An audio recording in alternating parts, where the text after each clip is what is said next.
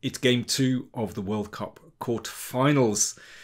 It's really tense, and I'm going to show you a fascinating game between Nijat Abasov from Azerbaijan and Vidit Gujrathi. This is a lesson in opening strategy, in particular, a lesson in the London system. It's a much derided opening, but it's very subtle indeed. Before we get going with the game, I want to say thank you to everyone who subscribed to the channel um, to bring bring uh, subscribers over 100k. Really appreciate that, and thank you to everyone for your warm wishes. It is much appreciated. It's a nice milestone. Let's push on to 200,000. oh, I'm going to be an old man. Okay, here we go. So, Abasov, 28 years old from Azerbaijan. Vidit Gujrathi, also 28 years old, from India. Their first game, their first classical game, was drawn. Uh, Vidit was pushing all the way but couldn't quite win. So, what could Abasov do? Both players have had excellent tournaments so far. And you could say this is one of the mainline positions of the London system. Bishop d6 is very popular, but then you can see that this bishop is kind of under attack. You don't want to exchange here. That makes life very easy. Whoops. I'll even play queen takes, mouse slip. So the normal move is bishop g3 so that white can recapture with the h-pawn. Now this is important. That didn't happen. Instead, Vidit played bishop e7. Well, a completely normal move, of course. Here, Abasov played h3. Oh, yes. Am I going to criticise this move? Well, it's a normal move in this particular position. Why is white playing this? Well, it gives the bishop a bolt hole on h2. If instead white plays the normal move, that's the move we want to play. You don't want to waste time. But actually then black is able to play bishop, uh, knight h5. Bishop, wow, I'm all over the place. Bishop g5 isn't possible because the bishop covers this square. And you see in this way, black is able to snag that bishop. So that's why the normal developing move, bishop d3, wasn't played here. And very quickly, Abasov played h3, which is a very standard move. And this bishop is a fantastic piece.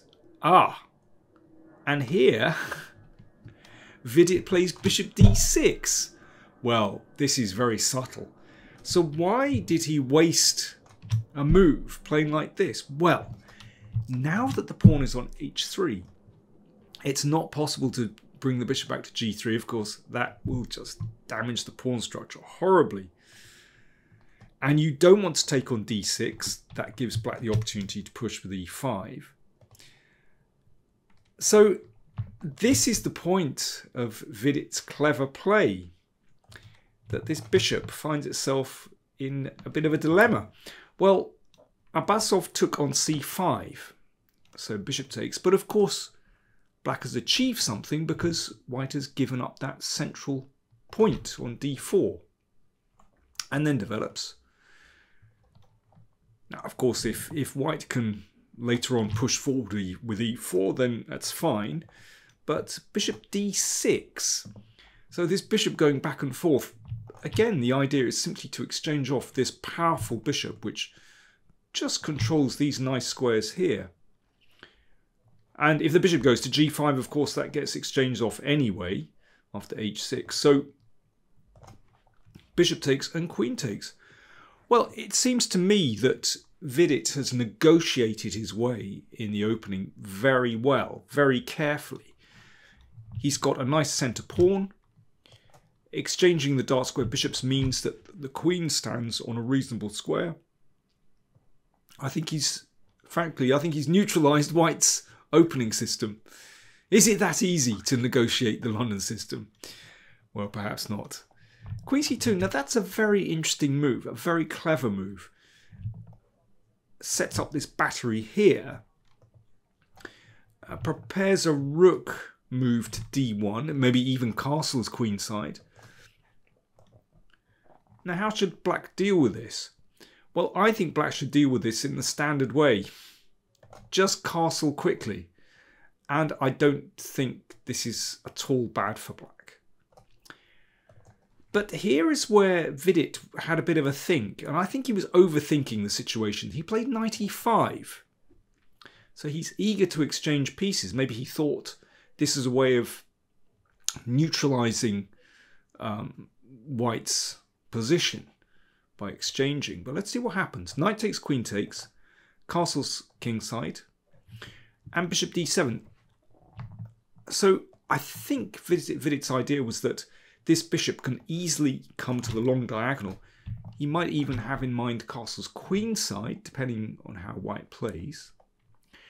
But after e4, this is very interesting. Although this looks quite mild, in fact, at this moment, it is actually very difficult for black to neutralize white's push with e4.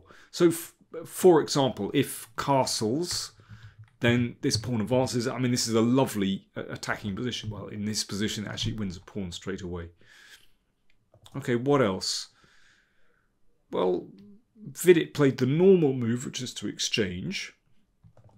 But this presents problems. If black exchanges, then that bishop is pointing in two directions. Well, you can see it's not really, it's obviously not possible to castle king side. You could go queen side, but that's very risky. Um, and that bishop looks excellent on this long diagonal. It's a tricky position, actually. What about bishop c6? The problem here is that Again, after bishop e4, black is one move away from safety. You know, you don't, you can't castle kingside.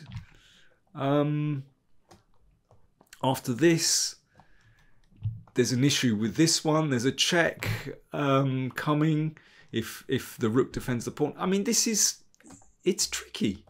So Vidit played knight d5. But now white is nice and active. And crucially, black has not castled yet.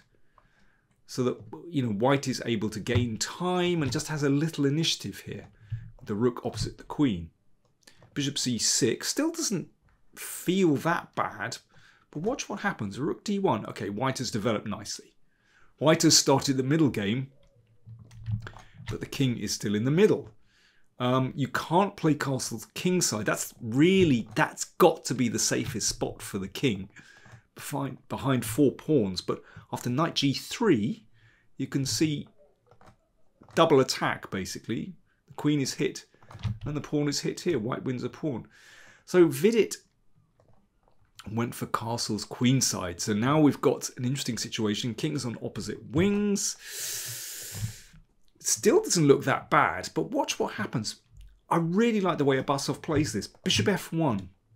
Now that covers g2, so that means that the bishop on c6 isn't a problem. Steps out of the way of the knight as well. King b8, yes, you want to push the king into the corner. Queen d2, this is a fascinating move. It looks peculiar to put the, the, the queen in the line of the rook. Um, but there, there are very interesting tactics here. So, for example, after knight f6, well, you can't take here. That's that's simply winning for black because it's a double attack.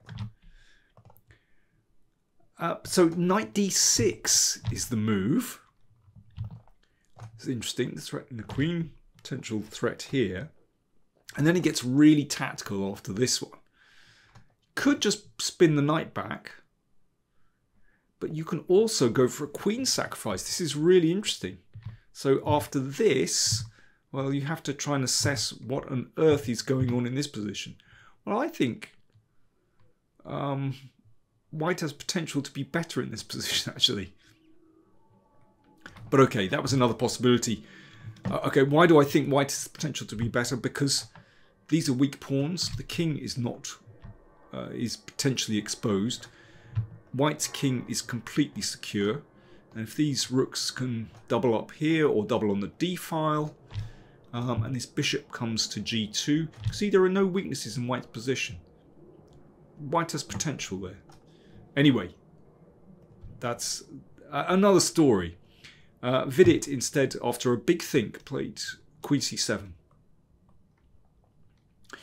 Knight c5. Knight coming to a very threatening position. H6.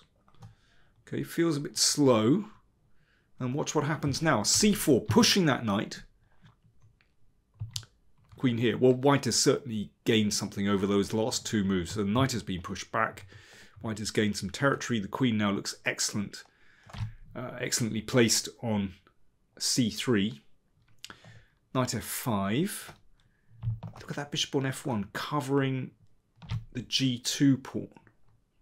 So white is completely secure on the king side. And this is fast. Look at this.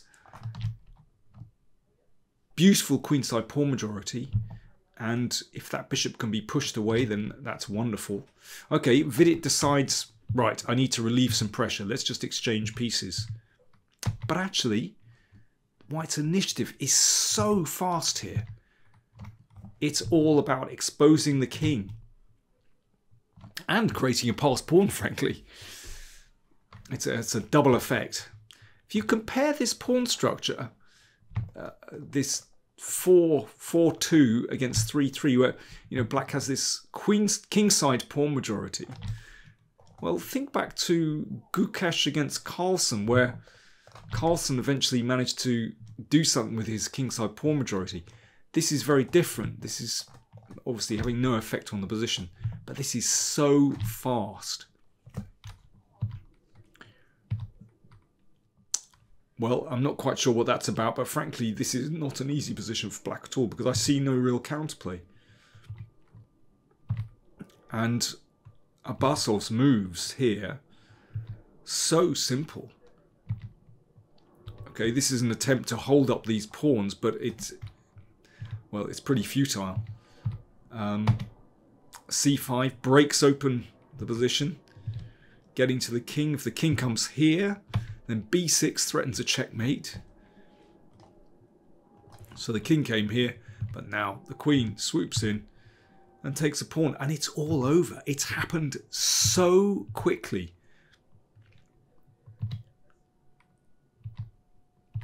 And the king in desperate trouble, and that pawn is going all the way. Threatening to queen. Bishop comes back. Bishop b5. Good move. If that's taken, then that's a new queen. A check. King came up. Another check. G3. King completely secure on H2. H2. Bishop F7. And now a little combination to finish. Not very difficult. Queen. Bishop takes queen. And queen e8 mate. What a picture. That's supported by the bishop. And that's called a guéridon. Checkmate. Not an epaulette, a Guéridon checkmate. Anyway, wow, what a smooth game by Nijat Abasov, who knocks out Vidit from the World Cup and goes through to the semi-final. That's a, a stunning victory. And, you know, from almost nowhere, he's having the tournament of his life. I did not expect him to, to knock out Vidit, who's also had an excellent tournament. Let's come back to this position. It's here. Here is where Vidit makes his mistake. It's an old principle. Don't move a piece twice in the opening. 95. Mistake. I mean, it was hard to see that that led to such an unpleasant position, but, you know, each with each move had consequences. Let's come back here. I think black should just castle. And here you can play rook d8, supporting that pawn just kind of stalling e4 and well after queen c7 e4 you've got to be a little bit careful here in fact there's no threat at the moment but just h6 and b6 just bring that bishop out so little by little um, black develops and shouldn't have any difficulties if e5 here's the trick knight d7 wins that pawn the queen is kind of the wrong side if the queen were on e2 it might be a different story so yeah, I think simple chess, just castling here. Uh, I think Vidit overthought it with knight e5, but as I said, I think that's really instructive. Don't move a piece twice in the opening. Well, what about the other games? Um, Carlsen went through. He managed to hold a draw with difficulty against Gukesh. And we have Caruana went through. He defeated Dominguez. And incredibly, Pragg managed to defeat uh, Arjun Erigaisi. So that one goes to a tiebreak. More coming tomorrow. It's an absolutely fascinating tournament. Thanks for watching.